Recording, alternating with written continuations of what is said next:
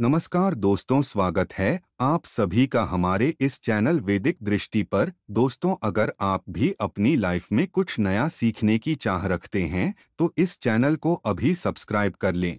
ओम नमः शिवाय दोस्तों 18 सितंबर 2023 हरतालिका तीज के दिन अगर आप इस वृक्ष को मात्र छुकर आ जाते हैं तो आपकी जन्मों की गरीबी, दुख, दर्द, कष्ट, पीड़ा उसी समय से मिटनी शुरू हो जाएगी और आप हो जाएँगे धनवान मालामाल। दो दोस्तों, यदि आप भी आपके घर की सुख, शांति, संतान की कमी और धन की कमी या कर्ज से परेशान हैं या आपका भाग्य आपका साथ नहीं दे रहा है और आपके कार्य नहीं बन रहे हैं तो दोस्तों 18 सितंबर 2023 हरतालिका तीज पर इस वृक्ष को मात्र छूकर आ जाना, उसके बाद आप देखेंगे कि कुछ ही दिनों में आपकी सभी समस्याओं का हल संपूर्ण रूप से हो जाएगा। दोस्तों, इस बार 2023 का साल बहुत ही दिव्य और दुर्लभ संयोग लेकर आया है और इस बार 18 सितंबर को सबसे बड़ी तीज हरतालिका तीज बढ़ने जा रही है। और दोस्तों, इस दिन राज योग कालसर्प दोष के साथ साथ धन लक्ष्मी योग भी बन रहा है, जिसकी वजह से इस तीज का बहुत अधिक महत्व बढ़ गया है। इसलिए दोस्तों, वीडियो को आखिर तक ज़रूर देखें और अगर आप भी अपने जीवन में महादेव की कृपा पाना चाहते हैं तो वीडियो को लाइक करके कमेंट। में हर हर महादेव लिखना ना भूलें दोस्तों, भाद्रपद महीने के शुक्ल पक्ष की तृतीया तिथि को हरतालिका तीज का व्रत रखा जाता है। धार्मिक कथाओं के अनुसार माता पार्वती ने भगवान शंकर को पति स्वरूप में पाने के लिए इस दिन से ही तप की शुरुआत की थी। उनके कठोर तप से प्रसन्न होकर भगवान भोलेनाथ जी ने उन्हें आशीर्वाद दिया था, जिसके फलस्वरूप माता पार्वती ने उन्हें पति स्वरूप में प्राप्त किया। यही वजह है कि कुंवारी लड़कियाँ भी मनचाहे व के लिए इस व्रत को रखती है। दोस्तों, देवी पार्वती ने कुवारी अवस्था में इस व्रत को किया था, इसलिए इस व्रत को सुहागिन महिलाओं के साथ साथ कुंवारी कन्याएँ भी अच्छे वर की प्राप्ति के लिए रखती है।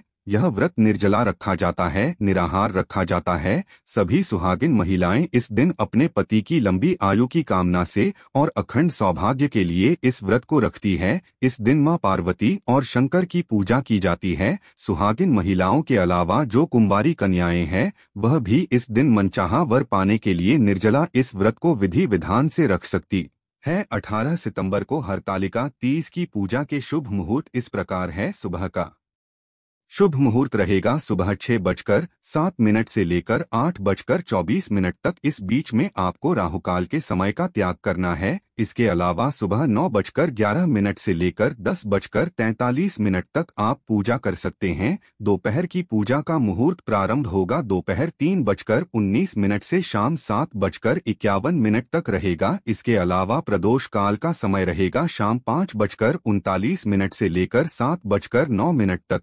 शाम को प्रदोष काल में की गई पूजा भगवान शिव और देवी पार्वती बहुत जल्दी स्वीकार करती है, इसलिए प्रदोष काल में आप पूजा ज़रूर करें। व्रत पारणा का यानी व्रत खोलने का शुभ मुहूर्त रहने वाला है। 19 सितंबर मंगलवार की सुबह छह बजकर अठारह मिनट से लेकर आठ बजकर दो मिनट के अंदर आपको ध्यान रखना है कि हमेशा अगले दिन सूर्योदय के बाद ही व्रत खोलना चाहिए और व्रत खोलते समय आप लिक्विड चीज़ों का पानी का या जूस का सेवन ज़रूर करें। उसके बाद ही कोई अन्य पदार्थ खाए। दोस्तों, हमारे हिंदू धर्म में वृक्षों को देव स्वरूप कहा गया है और इन वृक्षों में स्वयं भगवान भोलेनाथ और नारायण वास करते हैं और आज मैं आप लोगों को पावन वृक्ष के बारे में बताऊँगा जिनको इस हरतालिका तीज के दिन छू लेने मात्र से आपकी जन्मों जन्मों की गरीबी मिट जाएगी क्योंकि दोस्तों ये ऐसे वृक्ष है जो देववृक्ष कहे गए हैं या देवस्वरूप कहे गए दोस्तों हमारे धर्मशास्त्र में इन पेड़ पौधों को देवता मानकर हम इनकी पूजा करते हैं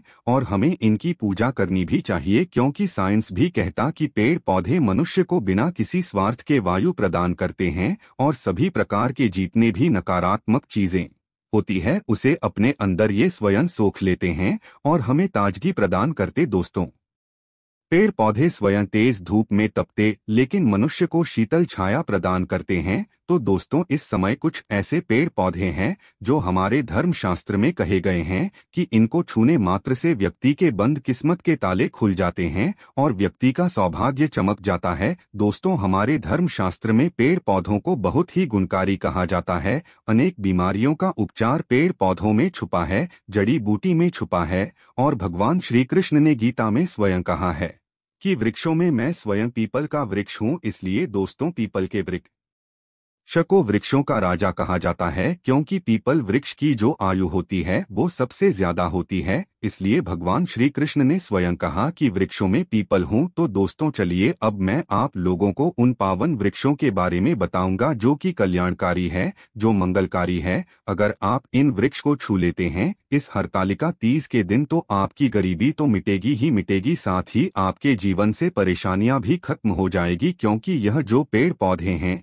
ये चेतनायुक्त हो जाते हैं, यानी कि इस दिन इनमें चेतना आ जाती है, और हर तालिका तीज के दिन स्वयं भगवान विष्णु जी इन वृक्षों में करते हैं, इस वजह से इनमें शक्ति आ जाती है। और ये पेड़ पौधे जागृत अवस्था में आ जाते हैं। दोस्तों, इस समय इन पेड़ पौधों को मात्र जाकर छूटे खास करके जो देवी स्वरूप कहे गए यानी माँ लक्ष्मी स्वरूप माने गए, भगवान विष्णु जी के स्वरूप माने गए हैं तो इन पेड़ पौधों को आप ऐसे छूकर आ जाते हैं तो आपके जीवन की जो परेशानी है, दुख तकलीफ़ है, कष्ट रोग बीमारी है, कलह क्लेश है, जीवन में बहुत बड़ी समस्याएँ सब समाप्त हो जाएगी तो दोस्तों आज आप लोगों को कुछ ऐसे वृक्ष के बारे में बताऊँगा। जो देववृक्ष कहे गए वीडियो को ध्यान से देखना, अगर आज की वीडियो मिस कर दिए तो फिर सारी ज़िंदगी आपको पछताना पड़ेगा क्योंकि इस समय हरतालिका तीज का पावन पर्व है। और ये एक ऐसा समय होता है, जो बहुत ही कल्याणकारी, बहुत ही मंगलकारी दिन होता है। सभी ग्रहों को एकत्रित करके सभी ग्रहों को सपोर्ट दिलाता है, कुंडली को मज़बूत कर आता है, गरीबी को समाप्त करता और आप अपनी आँखों से देखते हैं। गरीबी को मिटाते हुए दोस्तों, में जिन वृक्षों के बारे में बात करने बताने वाला हूँ। ये सारे वृक्ष आपको आपके घर के आसपास बहुत ही आसानी से मिल जाएँगे। दोस्तों, सबसे पहला जो वृक्ष है, जिसे वृक्ष के बारे में मैं बात करने वाला हूँ, वह है केले का वृक्ष। जी हाँ केले का वृक्ष आपके घर के आसपास मिल जाएगा इसमें। स्वयं भगवान विष्णु जी माता लक्ष्मी जी वास करती है। दोस्तों, आपको इसे खासकर हरतालिका तीज के दिन चाहे गुरुवार के दिन हो किसी भी दिन आप इस वृक्ष को छूकर आ जाएँ तो जीवन के कष्ट मिटाते तत्काल गरीबी मिटती है और सुख समृद्धि की प्राप्ति होती है। धन वैभव से आपका घर भर जाता है। आपके घर में तेज़ी से धन आने का स्रोत नज़र आने लगते हैं। रुका हुआ व्यापार चलने लगता है। बंद पड़ी किस्मत भी साथ देना शुरू कर देती है और भाग्य आपका सातवें आसमान पर रहता है। बंद किस्मत के ताले खुल जाते हैं, जीवन में सफलता आपको ज़रूर प्राप्त होती। है कार्य क्षेत्र में भी आपको लाभ होता है। तो दोस्तों, आपको केले का शिक्षा आसपास मिल जाएगा। तो इस वृक्ष को, इस पेड़ को छूकर आ जाए। इसमें स्वयं भगवान विष्णु जी वास करते हैं। केले का पेड़ बहुत ही पवित्र माना जाता है। कहते हैं, केले के पेड़ में अगर हरतालिका तीस के दिन अगर एक लौटा जल गुरुवार के दिन दिया जाए, हल्दी, चना, किशमिश डालकर तो जीवन में यश, मान, सम्मान की प्राप्ति और संतान की प्राप्ति होती है। अगला वृक्ष है, दोस्तों, तुलसी का पौधा। दोस्तों, तुलसी के पौधे को अगर आप छूकर आ जाते हैं तो जीवन के कष्ट मिटते हैं इसमें।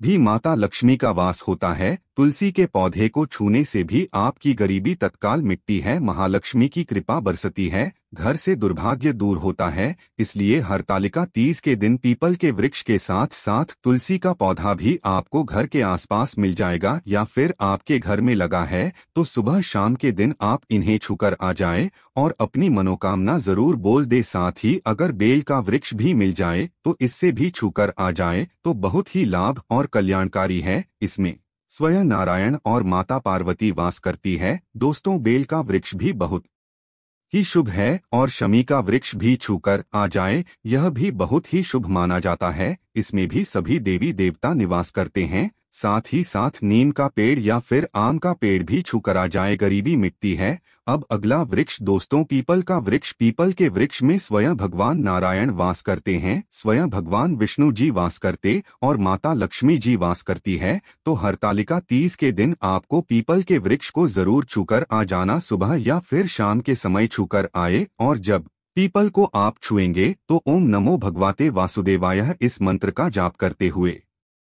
छूना है अपनी मनोकामना बोलते हुए छोड़ देना है। दोस्तों, जो भी आपकी मनोकामना है, नौकरी को लेकर, बिज़नेस, व्यापार को लेकर, धन को लेकर, कार्य को लेकर, संतान को लेकर, विवाह को लेकर, किसी प्रकार की समस्या, शत्रुओं को लेकर हो तो आपको बस भगवान विष्णु जी के वृक्ष पीपल के सामने ऐसे आपको अनुभव करना है कि वे उपस्थित हैं, प्रकट है और उन्हीं का स्मरण करते हुए छूकर आ जाना है। तत्काल देखेंगे 24 घंटे के अंदर आपकी मनोकामना पूरी होगी, बाकी आपकी मर्ज़ी। दोस्तों, इतना पावरफुल ये उपाय कि इसको करने से आपके जीवन के दुर्भाग्य दूर होंगे।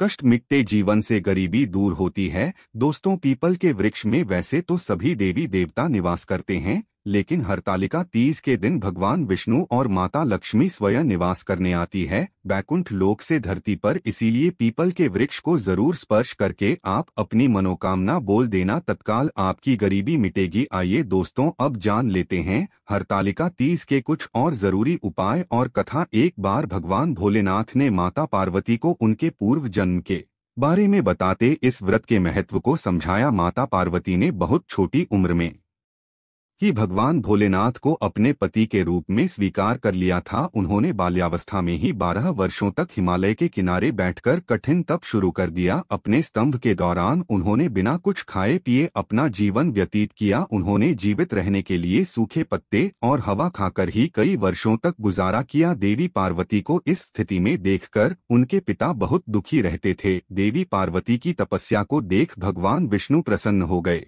जिसके बाद महर्षि नारद उनके पिता के पास भगवान विष्णु का रिश्ता लेकर पहुँचे भगवान विष्णु से रिश्ते की बात सुनकर उनकी खुशी का तो ठिकाना नहीं रहा। उन्होंने एक बार में ही स्वीकृति में हामी भरती। जब माता पार्वती को इस बारे में ज्ञात हुआ तो उन्हें बहुत दुहक हुआ और ये सारी बात सुनते ही वो बहुत ज़ोर ज़ोर से रोने लगी और जीवन कहने लगी। यह देखकर उनकी सखी को आश्चर्य हुआ कि वे स्वयं नारायण से विवाह होने पर इतनी दुखी क्यों है। तब उन्होंने अपनी सखी को उत्तर देते हुए कहा, वे इतना कठिन तप और व्रत भगवान भोलेनाथ को पति रूप में पाने के लिए कर रही है, लेकिन उनके पिता उनकी शादी भगवान विष्णु से ही करवाना।